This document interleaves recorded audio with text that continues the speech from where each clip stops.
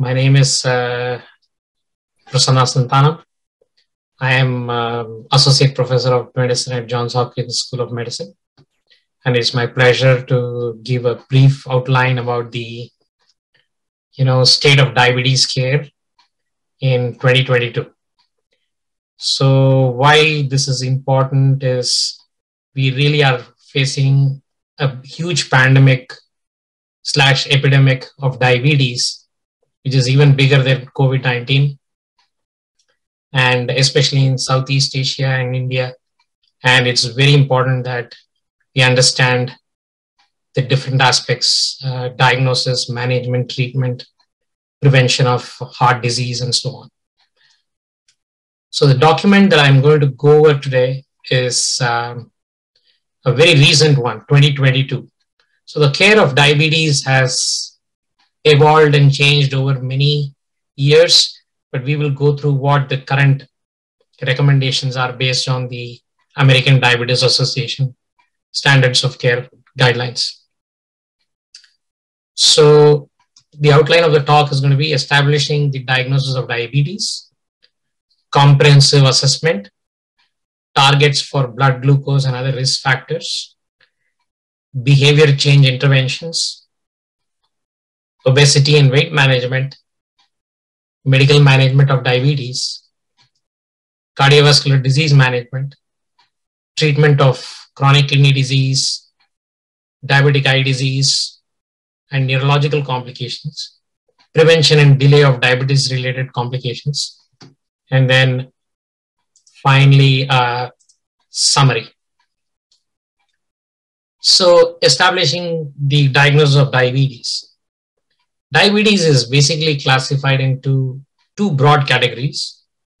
You can have other subcategories, but the two broad categories are type 1 diabetes, that is due to pancreatic insulin producing cell destruction called beta cells.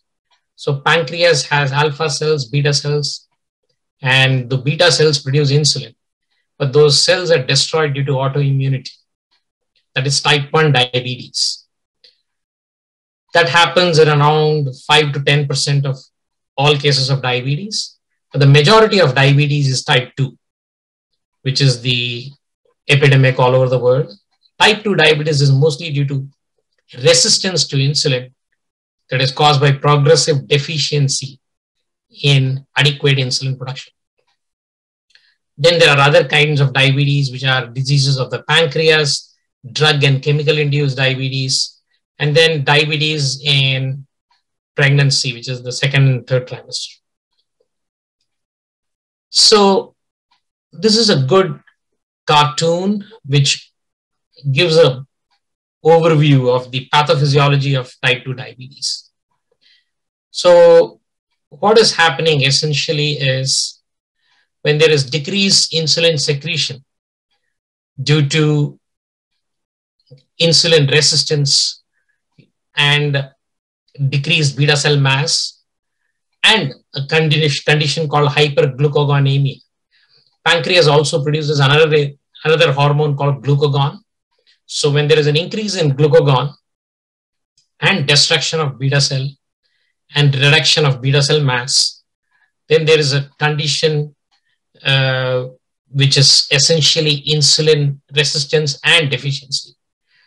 So what it does is it increases circulating fatty acids and causes high blood cholesterol and high fatty acids in the blood. The reason is if you're not able to utilize the glucose that you're consuming due to insulin inefficiency, destruction of beta cell, then the body turns to fatty acids for its energy requirement.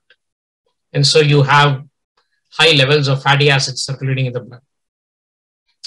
Now, when you have insulin resistance, then the glucose is not driven into the muscle. Now, muscle utilizes glucose mainly. This is very important for metabolism. So, if muscle is not able to utilize the glucose because of glucose problem, then the blood glucose goes high. The blood glucose uh, can also increase because of increased liver output of glucose because the insulin is not working in your liver. And then there is an impaired secretion of incretins, a class of molecules, which we will talk about. There are many new medications that mimic incretin action.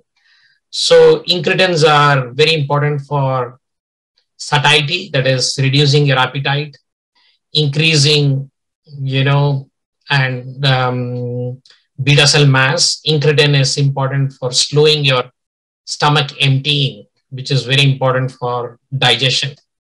So diabetes is also associated with incretin deficiency. So what are the key features of type 2 diabetes in India? So this was a very nice and important paper published in Nature Review by Mohan Clinic in, in Chennai in 2016, which said that, you know, possible etiopathogenesis in type 2 diabetes mellitus in India inquires, uh, includes economic prosperity, urbanization, decreased physical activity, high intake of refined cereal, low intake of dietary fiber, fruits and vegetables, um, high waist circumference despite low BMI, high waist to hip ratio. So even though our overall body weight to height square ratio might be lower, we have disproportionately high amount of waist circumference and increased waist to hip ratio.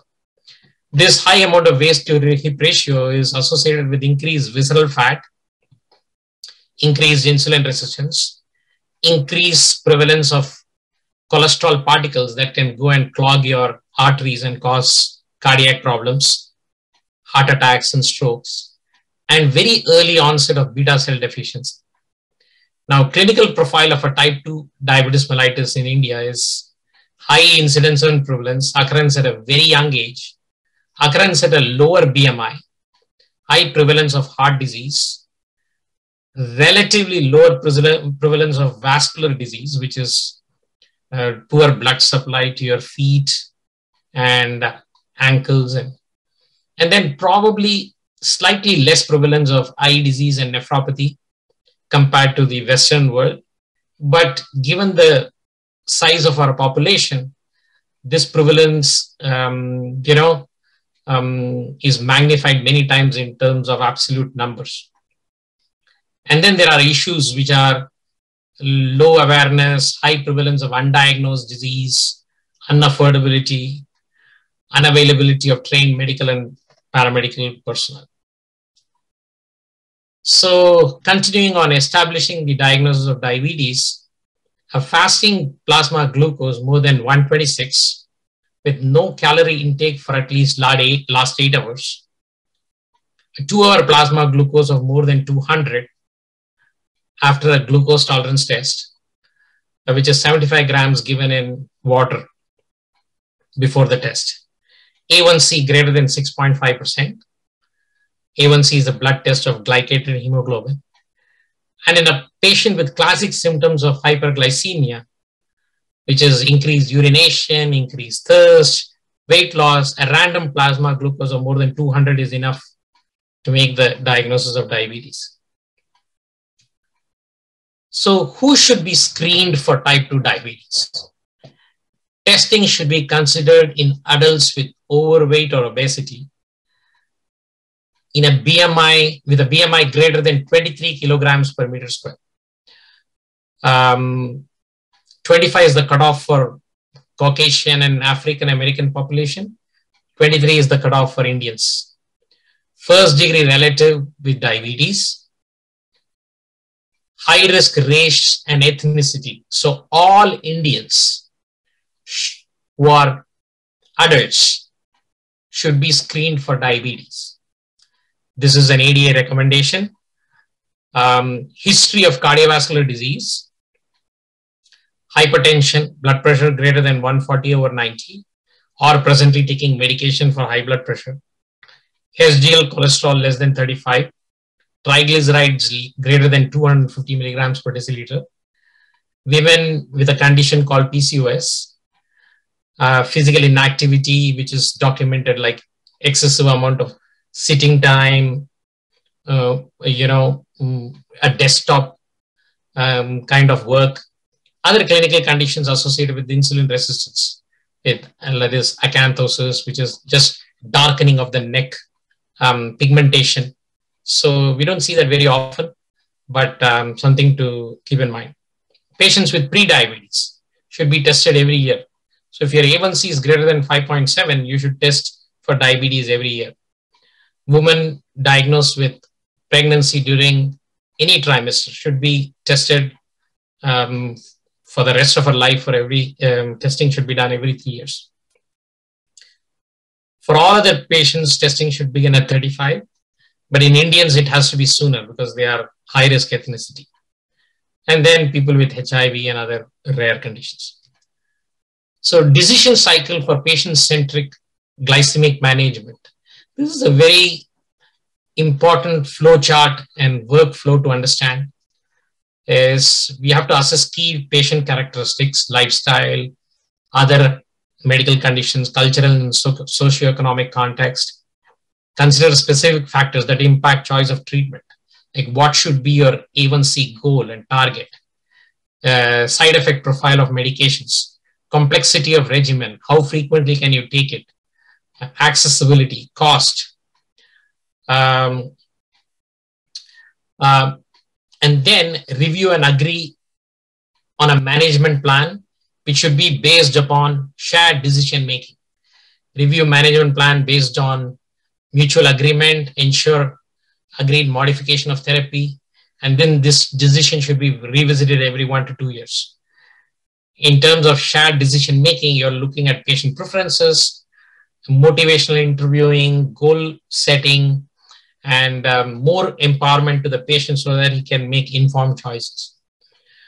Um, ongoing monitoring includes emotional well-being, tolerability of medications, monitor glycemic status, um, blood pressure, cholesterol, and then changes in management every three to six months if the goals are not met.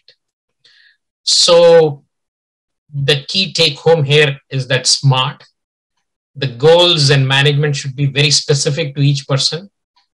The targets should be measurable, they should be achievable, they should be realistic, and they should be time limited, um, cannot be open ended. So, SMART is the mantra.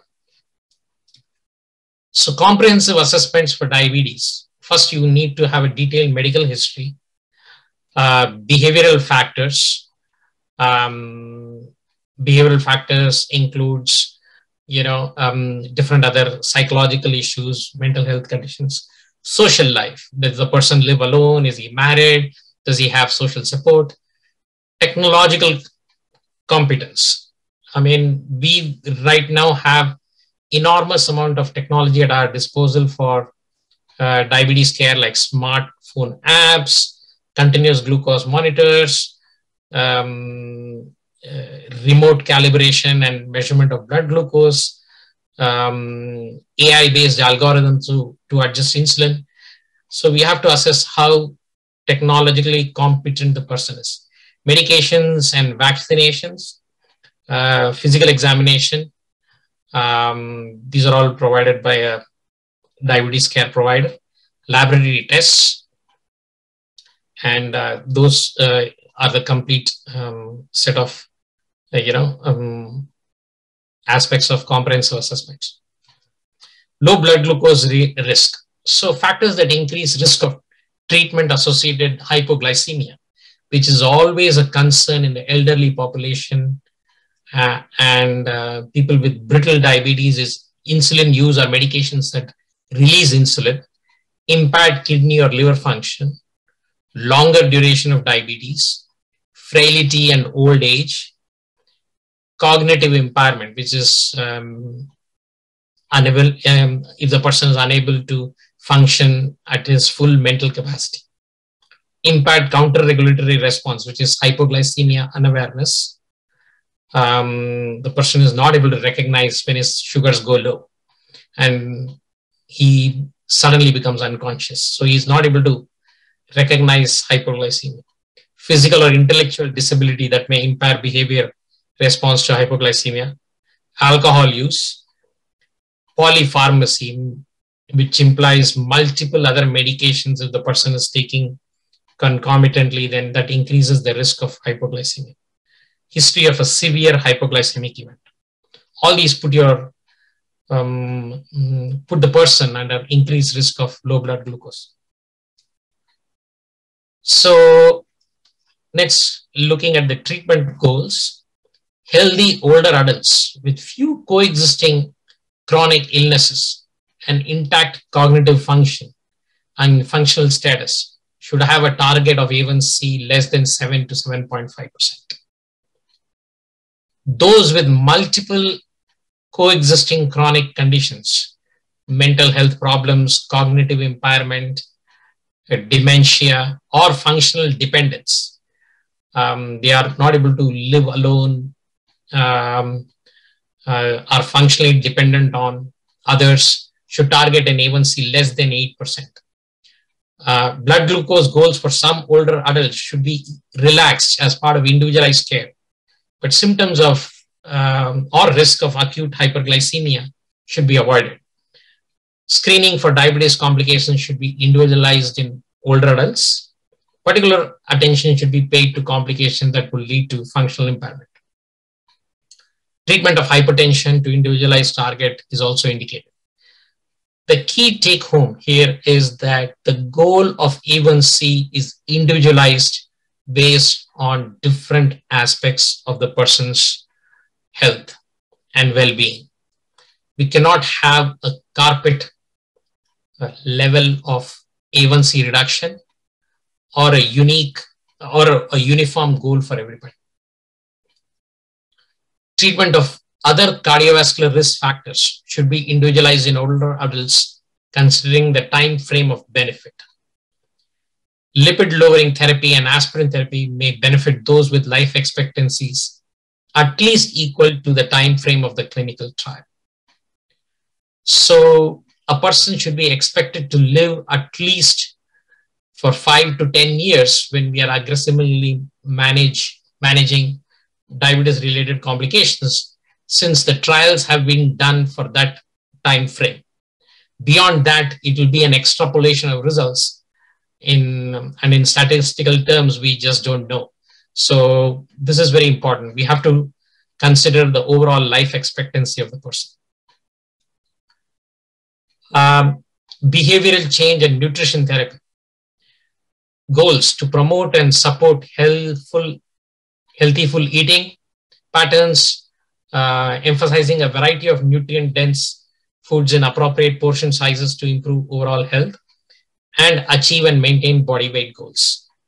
Attain individualized glycemic blood pressure and lipid goals that I just spoke about.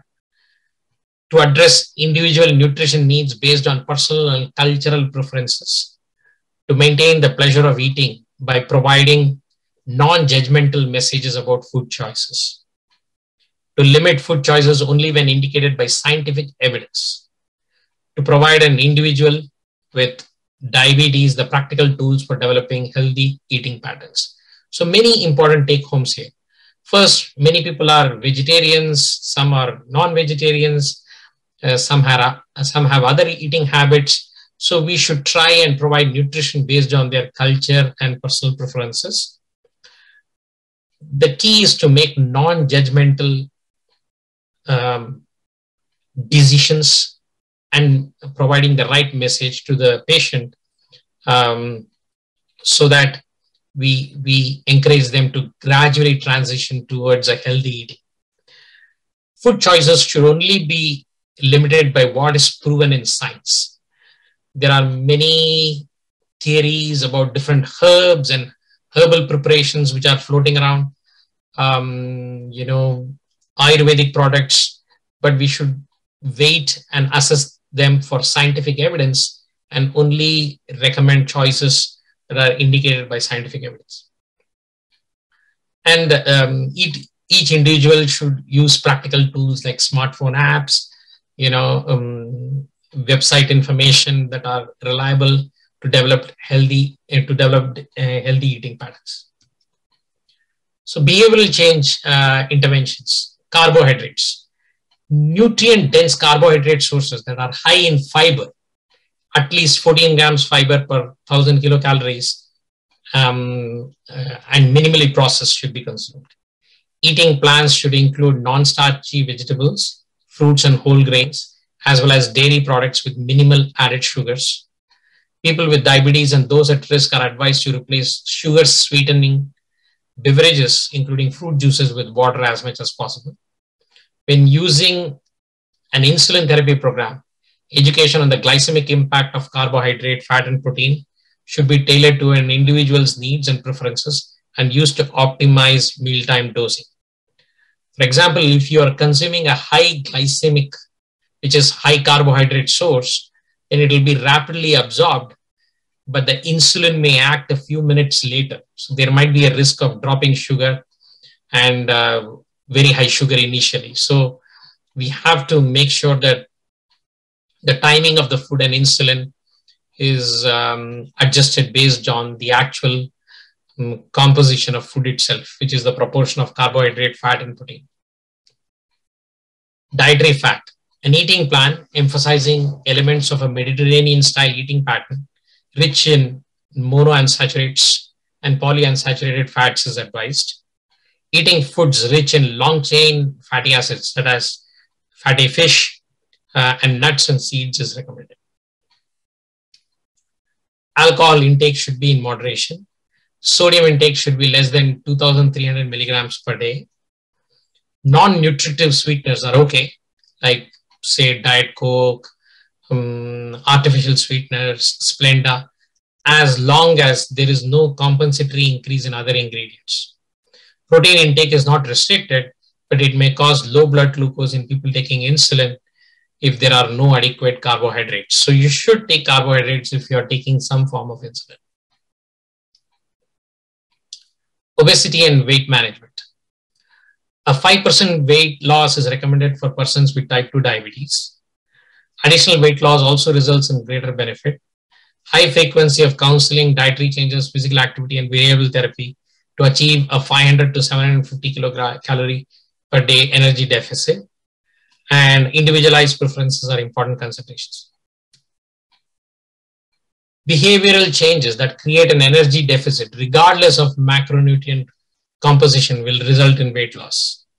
Evaluate systemic, structural, and socioeconomic factors that may impact dietary patterns. For those who achieve weight loss goals, long term weight management programs are recommended when available. Such programs should provide body weight measurements and self monitoring strategies and encourage regular physical activity. 200 to 300 minutes per week.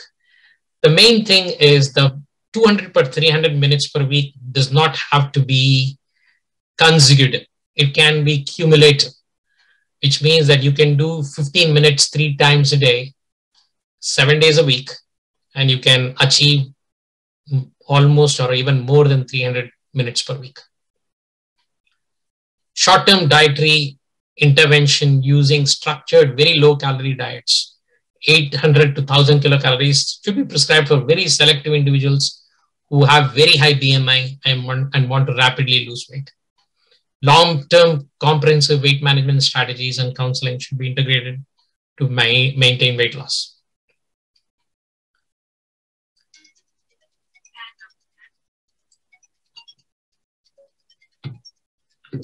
I'm sorry. Um, obesity and weight management. Um, diet, physical activity, behavioral counseling, pharmacotherapy, and metabolic surgery um, are recommended if BMI is between 25 to 26.9, uh, diet and physical activity and behavioral counseling. 27 to 29.9, you require both diet, physical activity, behavioral counseling, and pharmacotherapy.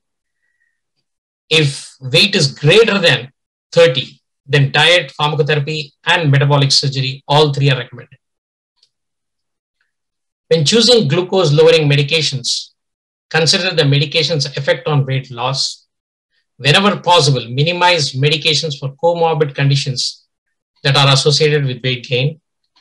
Weight loss medications are effective as adjuncts to diet, physical activity, and behavioral counseling for selected people with type 2 diabetes and BMI greater than 27 if a patient's response to weight loss medication is effective, further weight loss is likely to occur with continued use. When early response is insufficient, or if there are significant safety or intolerability, uh, then consider discontinuation of the medication. So this is a very nice uh, flowchart that shows you how treatment of diabetes is individualized based upon other cofactors and issues. So the first line therapy of comorbidities uh, depends upon patient-centric treatment factors, cost and access considerations, management needs, and include generally includes metformin, the main drug which is used for diabetes. ASCVD indicators of high risk. If you have heart failure and chronic kidney disease, then recommend independently or baseline A1C, individualized A1C target or metformin use. And then if you have heart failure, then you use a certain class of medications called SGLT2 with proven benefit. If you have chronic kidney disease, um, say with albuminuria and or without albuminuria, then you can use either SGLT2 or GLP-1 class of agents. If you have high risk cardiovascular disease indicators, then we use GLP-1 or SGLT2 and if his A1C is more than target, above target, then we use uh, other agents. And say, and then incorporate agents that provide adequate efficacy to achieve and maintain glycemic goals. Higher glycemic uh, efficacy therapy, including GLP-1, insulin, carbohydrates, are all based upon the person's need to minimize hypoglycemia, minimize weight gain and promote weight loss, and consider cause and access. So the key thing here is that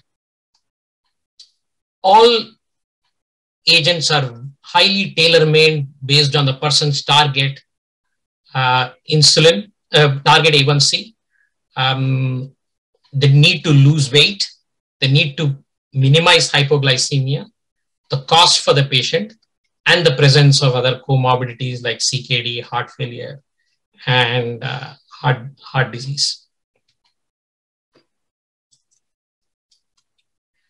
So this is a nice table which gives you an overview of the entire armamentarium of diabetes medications and its other effects other than lowering A1C. So you see most of the current agents that are used for oral intake do not cause low blood sugars in most cases. Some might cause weight loss, especially SGLT2 inhibitors and GLP-1. Some are weight neutral and others might actually cause weight gain. So a person who has very lean um, body habitus with low BMI and still has diabetes type 2, he might actually benefit when, from certain amount of weight gain. So these agents might be used in those patients. So if you have heart failure, then there is benefit in using SGLT2. Um, but some medications like thiazolidinediones, Actos, Avandia, they may actually increase the risk of heart failure. If you have ASCVDA, that is cardiovascular disease, metformin might benefit, but SGLT2 are definitely beneficial. GLP-1 are of great benefit. DPP-4 are neutral. And then thiazolidinediones and sulfonylureas are kind of um, on the neutral.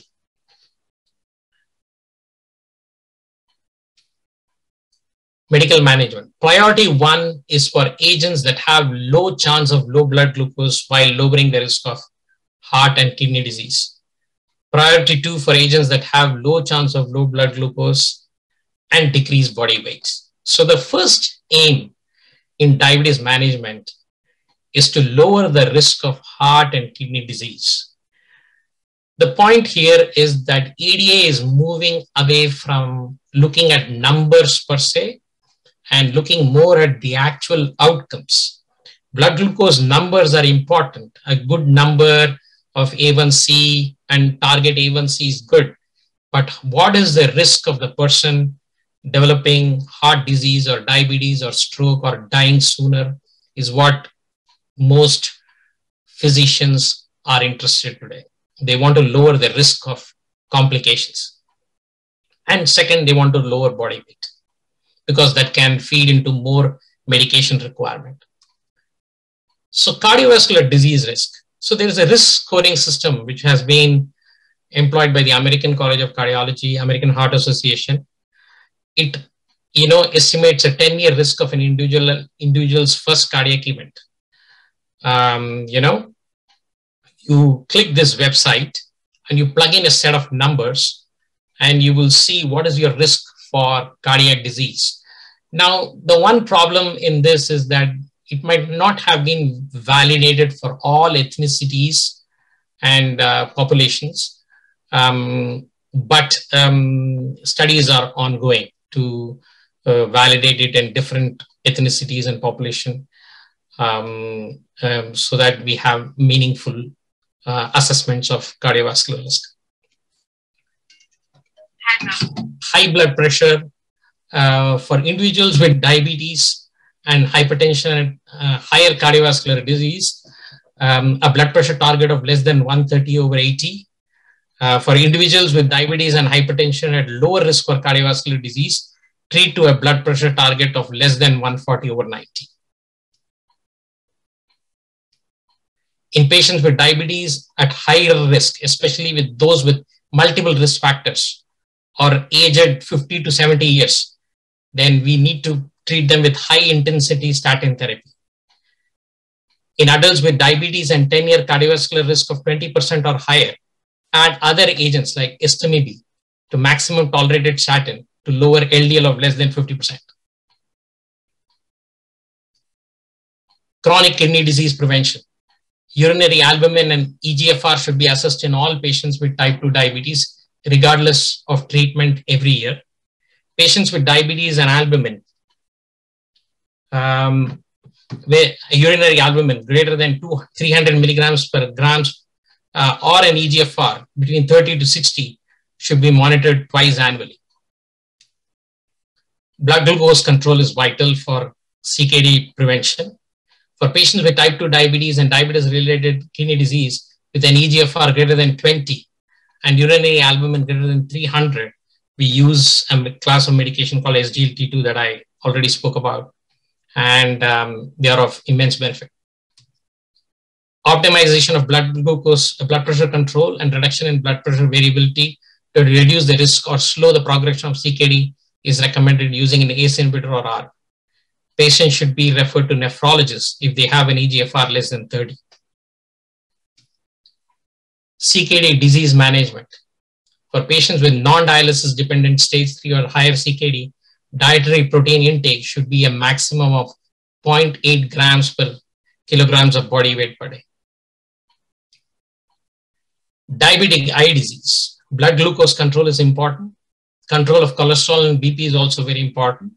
An eye exam is recommended by an ophthalmologist that is comprehensive at the time of initial diagnosis, annual examination every one to two years, then onwards um, depends upon the state of the eye.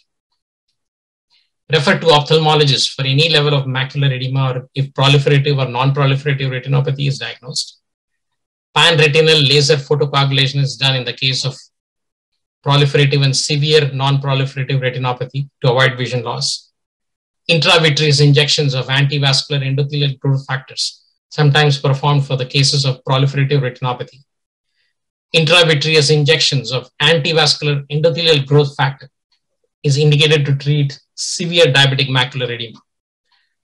Grid photocoagulation and other intravenous intravitreous steroids are sometimes given for this purpose. The presence of retinopathy is not a contraindication for aspirin therapy. This is something very important to keep in mind. So I'll show you a picture of DM macular edema. So DM uh, macular edema commonly involves microaneurysms, exudates, and cystic intraretinal fluid.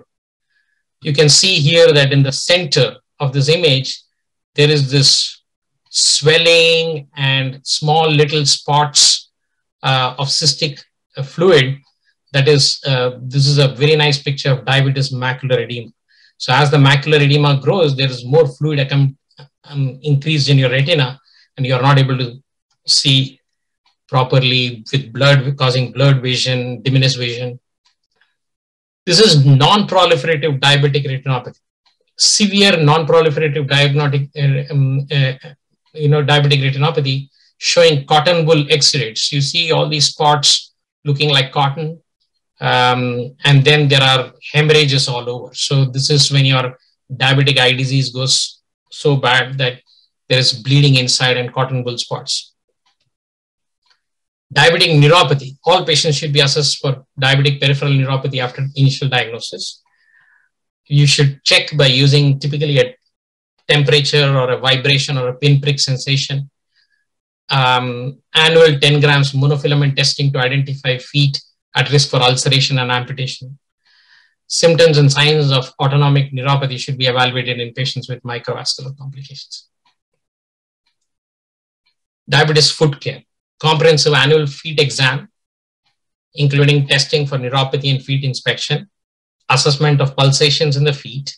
Sometimes we do a, a thing called ankle brachial index, assess for deformities, um, cardiovascular disease and smoking is associated with a higher risk of peripheral vascular disease.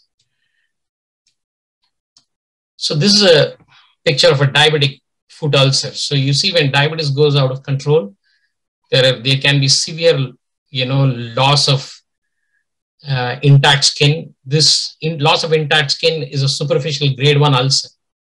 But then grade two here on the right side, close to the bigger toe, is a deep ulcer and maybe grade 2, grade 3 ulcer because there might be bone involvement. And we don't have a picture of gangrene here, but the point is that if diabetes goes really uncontrolled for a long period of time, you're at risk for developing these kind of feet problems, which can be very severe, very debilitating, and very discomforting. Prevention or delay of type 2 diabetes. Persons with weight gain should try and achieve a 7% loss of initial body weight and increase moderate intensity physical activity to at least 150 minutes to 300 minutes per week. Change in eating patterns, technology assisted programs might be very helpful, like website support groups and apps. So I'm coming to the summary slide. Um, diabetes treatment is not one size fits all. We have to individualize the goals of treatment avoiding low blood sugar is sometimes more important than controlling high blood glucose. Blood glucose levels are just numbers. We are more interested in prevention of heart, kidney, eye, and nerve disease. Healthy eating choices and stress-free life are as important for diabetes management as our medications. And this is the last, um, you know, cartoon. What is more evil, Darth Vader, Joker, Frankenstein, sugar, fat, or carbs? and I conclude my presentation here.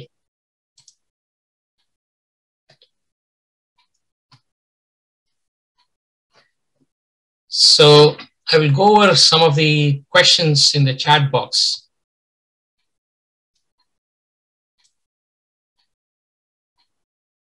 Okay. Uh, Sivaramakrishnan says, okay, uh, that's something to Okay. You have already taken in your slides fasting 126 and PP 200. In India, it is still 80 to 80 and 120 to 180. Is this a shift which we are aware in Western world or we, can we take it universally? So, um, Mr. Sivaramakrishnan, ADA says that fasting more than 126 and PP more than 200 is diabetes fasting between 100 to 126 is pre-diabetes and uh, between 140 to 200 is pre-diabetes in postprandial but then you sometimes you may have one of them abnormal and the other one might be normal in that case we have to establish it during, do, by doing a glucose tolerance test so if you have one abnormality say your fasting is 110 but your pt is greater than 220 um, uh, then you might still have diabetes. So you have to confirm it by repeated testing. You mentioned that there are multiple reasons causes of type 2 diabetes. Can the medications and care be tailor-made for each case? For example, if one's type 2 diabetes is mainly due to incretin deficiency, will some medications work better than others? So we do not test for specific kinds of diabetes. What we do is we know from your A1C and C peptide and proinsulin, insulin measurements, and uh, you know some antibody measurements like glutamic acid decarb- um, decarboxylase, GAD, which is all you know um, complex antibodies. When we test for them and those antibodies are negative and your C peptide is detectable, we assume mostly that it's type 2 diabetes. Whether type 2 diabetes is specifically due to a particular incretin deficiency, we don't know. Research uh, is not there yet, but we do know that if you have worsening type 2 diabetes, then you develop definitely develop incretin deficiency later on. So incretin deficiency um, uh, and incretins can be used to treat, analogs can be used to treat diabetes. Is there any way to determine the cause of type 2 diabetes in a person such as incretin deficiency? So yes, this is a metabolic disorder where all the things are involved simultaneously or at multiple levels. So which came first and which came second is very hard to establish. So that is a very important aspect. Did um, incretin deficiency occur before insulin deficiency or resistance? This is something you have to test someone repeatedly in the lab and do some high level imaging as well as uh, biochemical testing, which is not practically feasible in everybody. Is there a progress on reversing type 2 diabetes? So diabetes can be reversed in certain situations. If you are having a very high BMI of say 35 or 40 and you lose like um, 20% or 25% of your weight, then diabetes can be reversed. Sometimes PP value is lower than fasting sugar. Does it mean we can take more sugar in the morning? No, that is not um, the interpretation. The uh, laboratory values um, can change, can fluctuate. Uh, people who have a lower PP value means that they have a good response to insulin when they eat food. But when they when higher fasting sugar is there, it means that they are producing more glucose overnight, um, mm, you know, from their liver. So that is very important to understand. So we have to treat both glucose output from the liver as well as mm, moderate the carbohydrate intake so that the PP doesn't go high. Is there any truth in rounds doing the uh, about med the medical uh, fraternity progressively lowering the threshold for being declared a diabetic for business reasons rather than genuine uh, reasons? So, why is diabetes diagnosed when blood glucose is more than 126. The reason is there was a study done in Pima Indians, which is a group of um, community somewhere in Philippines, where they saw that if blood glucose goes more than 126, you suddenly have a drastic increase in the risk of eye disease and the curve starts to shoot up. So there is an inflection point. So what is that inflection point is a subject of debate, but many people say that 126 is a fairly reasonable inflection point when your eye disease starts to shoot up. Now we do know that between 100 and 126, if you have blood glucose, your risk of cardiovascular disease is more than a person whose blood glucose is less than 100. So the point here is that it is a continuum. It is not quantized. It is a continuum. So when there is a continuum, we just look at the epidemiology and disease burden and then decide on cutoffs. I don't think there is any business reason here. I'm not aware of at least. Is there evidence in benefit for intermittent fasting in prediabetes? Fasting is always beneficial. So there's no doubt there are some studies that support intermittent fasting and um, not proven in long-term trials, but definitely there are many studies that show intermittent fasting can be beneficial.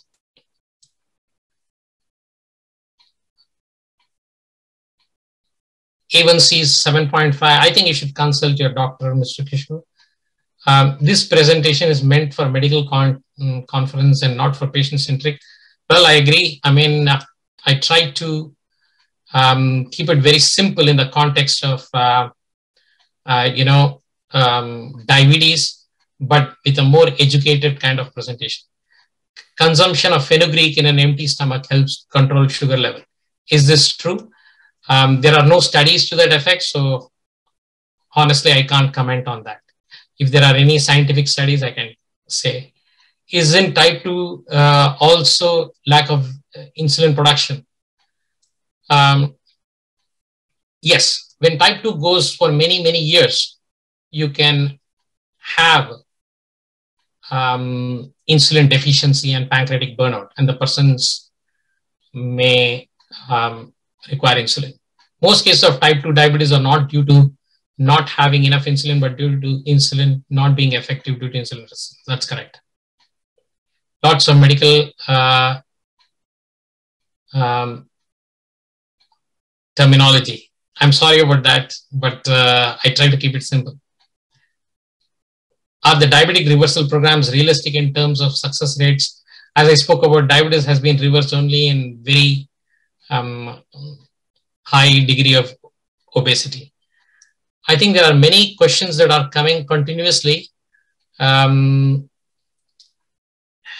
I don't know when to kind of um, call it quits. Any suggestions from anybody?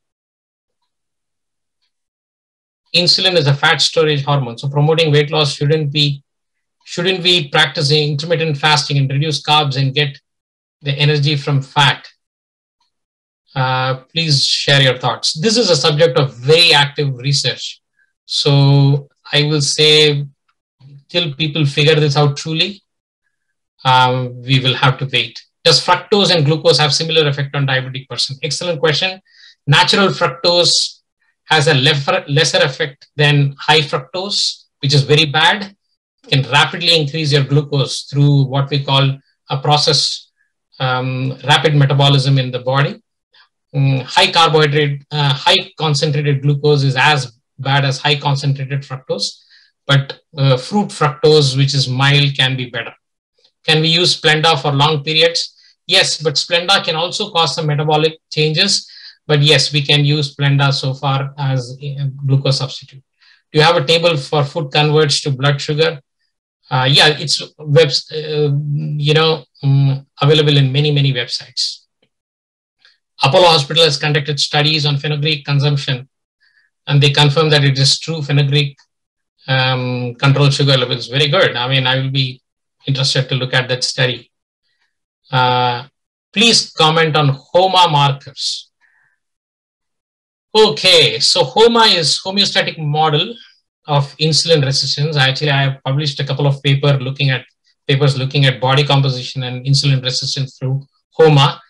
So HOMA is a complex mechanism where you actually, um, in a homeostatic model, what you do is we infuse glucose and we continuously measure insulin secretion in the blood and use an algorithm to see their um, quantification of insulin resistance.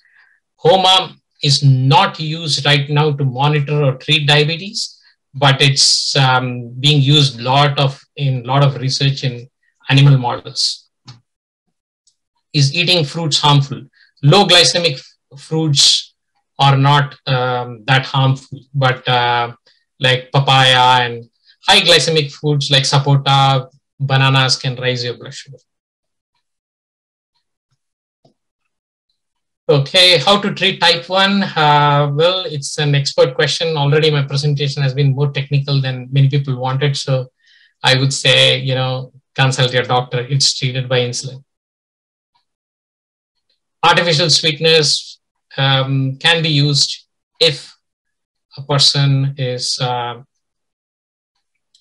uh, uh, you know, uh, wants to eat something sweet, um, but at the same time wants to sugar. Yes. You're missing my question on pH balancing vis-a-vis type 2 control. I didn't get that. uh, pH balancing in what context? Uh,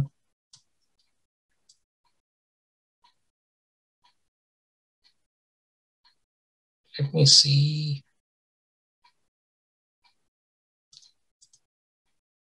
Body pH balance.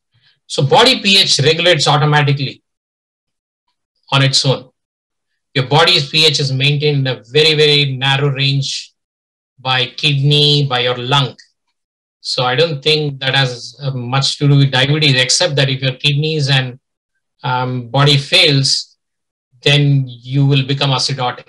And if you're producing too much fatty acid from the liver, um, then you will become acidotic and you go into a condition called DKA. Does acid food affect CKD? Acid food can cause a lot of gastritis, but I don't think they're directly related to CKD itself. How about dairy consumption? Healthy or unhealthy? Anything in moderation, in limitation is good for, um, you know, it's okay as long as you're not overdoing Okay, so here I will pause and uh, thank you very much.